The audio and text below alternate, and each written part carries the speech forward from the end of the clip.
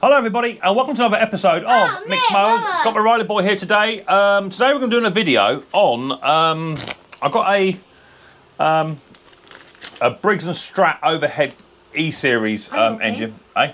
It's already open, mate. Yeah. What's your name? Which I got off that fella who gave me that big, massive job lot of um, of mowers, Michael. Um, however, the engine he gave me is down here. What was on it? It was one of those power force units, and uh, for some reason I just can't get it to run. It'll fire every time. Yeah, uh, but but it, it, it, it, it just won't run. Um, so I need to investigate it. However, I did have a couple of old scrapper mowers with uh, no boxes and blown decks and what have you, with an E series engine on it. And um, off camera, I've been working away. Um, got the engine running, but it does hunt and surge a little tiny bit as well. And I have cleaned the carburetor twice, and it's still not having it. So I have a choice. I either go and buy a brand new carburetor, 35, 40 quid, or I invest in one of these, which, I had, which um, Top Conquer sent me this a long time ago. Yeah, just hold that very, very carefully just there. What's Don't- your name? It's a, it's a main jet.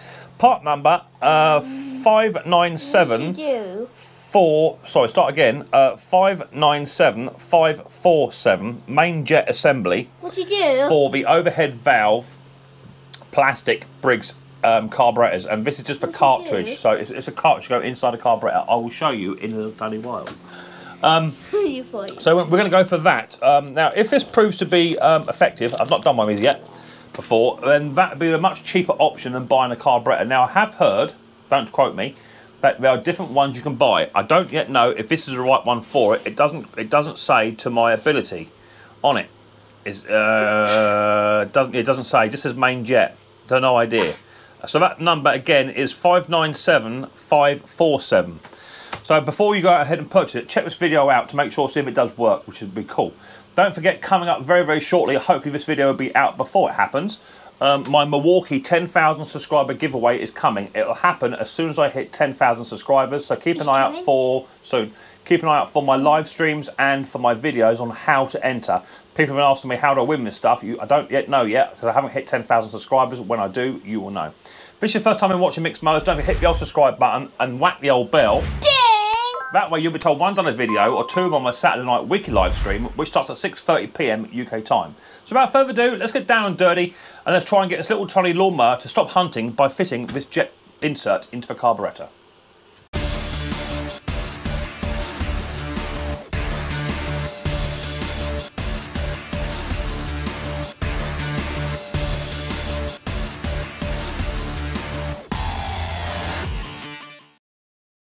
Right, let's have a little wander, Riley, Yeah, come in.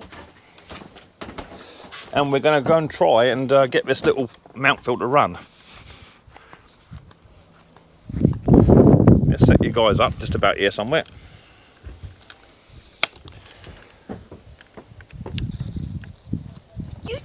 Something like that. What? So here's a here's a little Mountfield. This is one that Michael gave me. It's all complete, all runs, but it was hunting and surging and mucking about. Um, this is an engine that I put on. There's fuel in there, plenty of fuel as well. So let's start it up. Okay, yeah, do it. Oh, give give it, go and give it three pump pumps. Actually, do. You can do it, yeah. Do it three pumps. He knows exactly where it is. One, two, three, four, five, six, seven, eight, nine, ten. Fantastic. Try, Daddy. Fire!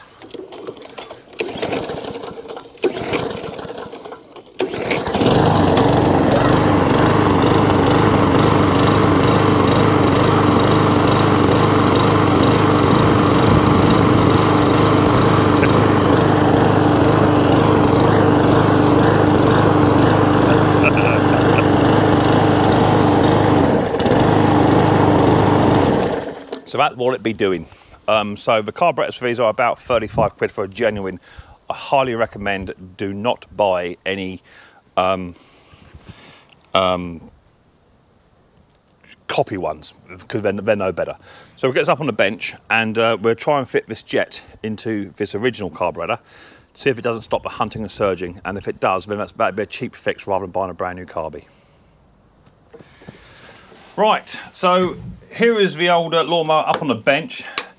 Take the air box off, remove the air filter, and then you want a selection of um,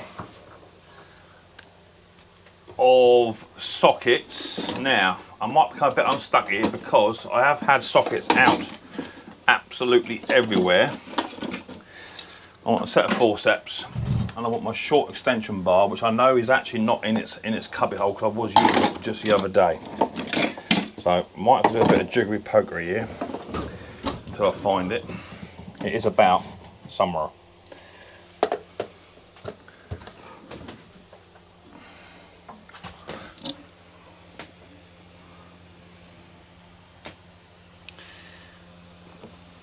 Right, found it.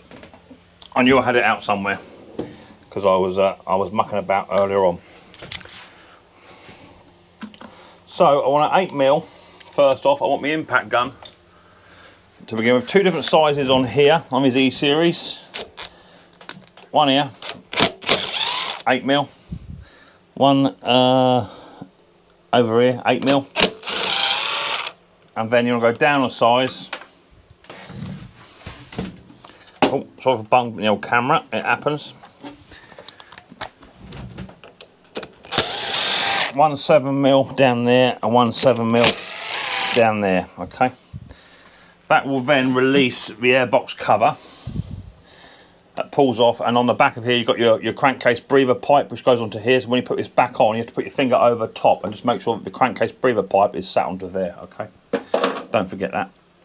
Uh, plenty of fuel in this tank. So, in fact, I'm going to use my set of um, smallest pipes because these for the Quantums and the um, E series, these are better for clamping fuel off rather than the, rather than the uh, the standard hemostats and what have you. Um, I want a pair of pliers. I've got tools absolutely everywhere. I have been super busy. So at the moment I'm sort of just working with, with what I've got on the bench. I've been so busy with stuff, it's, uh, it's absolutely hideous. Uh, set of uh, pliers or grips to remove the fuel, fuel clamp and then you'll bring that this uh, petrol hose off. Change it for a pair of long nose. Because these are a bit fiddly to get off.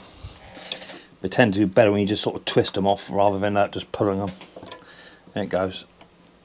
It goes like that and then you can then pull this carburetor out of its housing, put it straight out, and then just tip the carburetor over onto its side and back, and comes off of the off the throttle um, linkage there. And there's our carby, um, and this is where the, the jet goes inside. So let me get over to the bench, and then um, I'll show you how to take it apart, and then I'll show you how to install this new jet. Okay, I've got you zoomed in as much as I dare without bashing the older bashing the old uh, camera tripod legs. Right, carburetors here. What I recommend of these carbies is literally I just scratch a line down one side on the top on the bottom with a knife or, or flathead driver just so you know exactly which way around it goes okay? Before you uh, take it apart. 7 mil. Crack that off. 7 mil. Crack that one off. There's two to come off. And then that little tiny bowl with a bit of a twist, we'll just separate up off of the machine, off, of a carby, there it goes, lots of fuel in there. And then just want to remove the um, the float and needle. Let me get a pair of long nose pliers, so we're going to need them.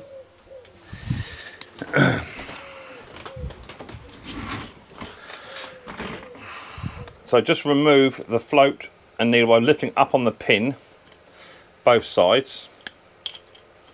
I'm only doing this just so you can see. You don't you don't have to do this, but I'm just showing you just for just for ease.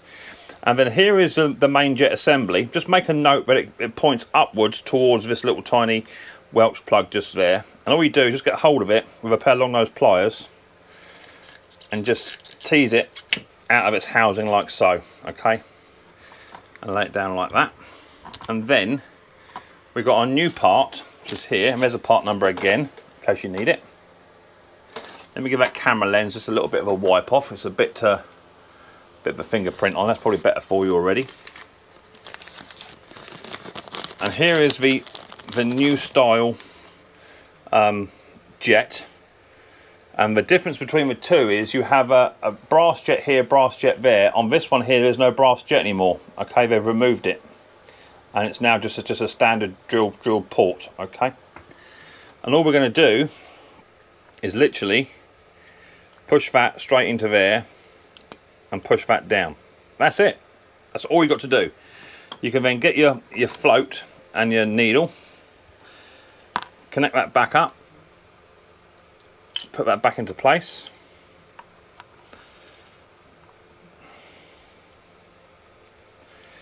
Run your pin through. Gently gently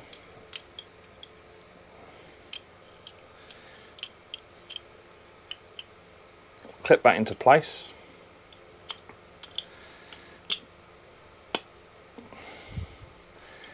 And that one. That's it. That's all there. That's done. And then just find your mark on your carburetor. Which my mark's here and the other mark is there. So I know that that goes on there like so push that down together home. It's got an o-ring on there. Push it all the way in. Line that up. Get your two seven mils. Start one off. Get your other seven mil. Oh. start that off. Job done. Let's put it back on the on the lawnmower and we'll go from there. Okay back on the old lawnmower again. And all you want to do is just tip this this carburetor up this way so the bowl is facing the front and there's a little tiny throttle linkage. Let me try and show you so you get a bit, a bit of a better better shot at it. There you go. Little tiny throttle linkage just here. All you want to do is just put sink your carburetor in grab hold of your throttle linkage and just tip the carburetor up and place it in place and tilt it back so your throttle linkage is on you then make sure that your your throat of the carburetor goes onto the inlet manifold push it all the way in and home like so. You want to grab your uh, pair of long nose pliers, grab hold of your fuel hose, bend it down, and then seat that up into its position, like so. That's good. Grab your pliers or grips, get your fuel hose, sorry if my hands are in the way. Take the fuel hose round, fuel hose clip round, put that into position remove your fuel hose clamp, done, and then get your airbox cover, and there's your inlet manifold, um, breather pipe, uh, sorry, your, your breather pipe, crankcase breather, and there's your tube. All you've got to do is push it in place, and then just push that tube onto the back of that, that cover. It's a bit fiddly, it goes on with relative ease, and then literally just marry up your, your airbox so that your screws now fit. I need me um, I need me, me impact. And you've got four screws to put back in. Just bear in mind, there's two different types of screw, one eight, one seven. One's, one's for plastic, one's for metal. The plastic one is a coarse thread, the metal one is a fine thread. So we want the, um, the 7 mil first, which would be your plastic threads. One goes there. Oh, dropped it. Fingers. So one 7 mil goes on the bottom and one 7 mil goes on the top there.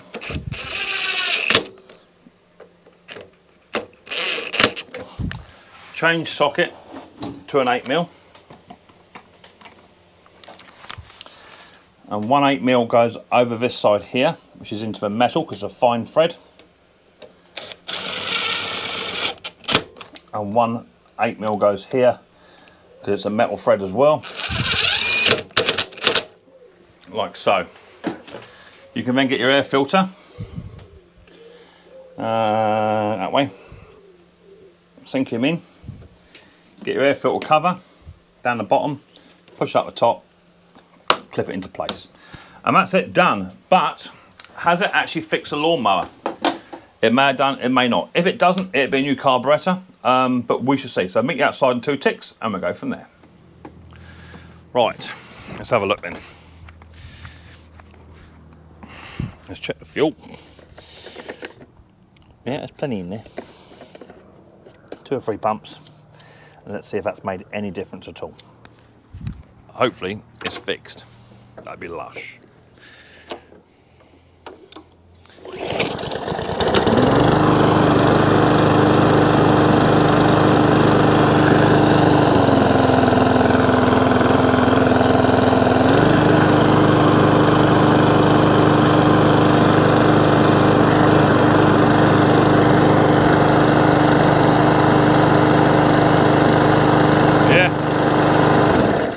Happy with that. happy with that. Let's put a little box on it. Not to make any difference, but I've been waiting for uh, to do this video so I can get this machine up for sale. I've got a nice little Briggs E-Series engine, which I'm not a fan of because of a carbies. But you can put that little cartridge in there, it takes minutes.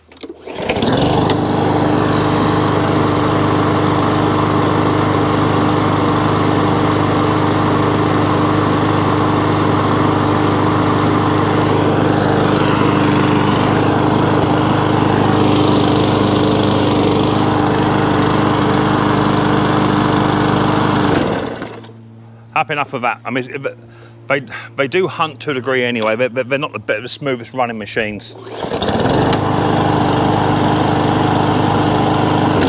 But I'm happy with that. That'll sell. So there you have it, simple, quick and easy. Um, just done a bit of research on Tinternet. Uh, on eBay, it says genuine um, £10.90 and on Garden Hire Spares, not affiliated, um, what did I say, £8. I remember now. Uh, bear with uh, Garden Hire Spares site. Uh, £7.26, £8.71 including VAT. You might have put postage on top of that, but uh, let's say a tenner. For a tenner, um, you can get your Briggs & Stratton E-Series plastic carburetor, which we all hate.